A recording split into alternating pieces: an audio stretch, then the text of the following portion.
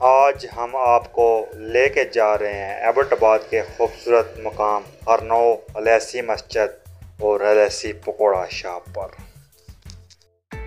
صبح کا وقت تھا، ہم اپنے بائک پہ ہری پور سے ایبٹ آباد کی جانب نکل پڑے۔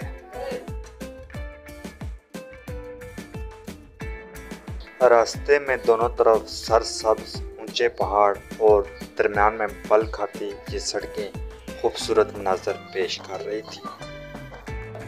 بالآخر ہم اس مقام پر جا پہنچے جہاں سے ہرنو چند کلومیٹر دوری پر تھا۔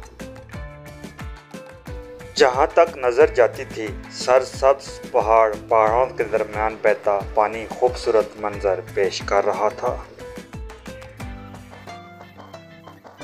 سیاہ ٹھنڈے پانی میں لطف اندوز ہو رہے تھے۔ جہاں لوگ انجوائے کر رہے تھے، اسی کے ساتھ کچھ بچے اپنے رزق کی تلاش میں بھی لگے ہوئے دکھائی دیے۔ ہرنو میں خوب انجوائے کرنے کے بعد ہم بالآخر الیاسی مسجد کے لیے نکل پڑے۔ اس مسجد میں خاص بات آپ کو شاید معلوم نہ ہو کہ اس مسجد کی ہر طرف قدرتی پانی کے چشمے ہیں، جس کی وجہ سے یہ مسجد پوری دنیا میں مشہور ہے۔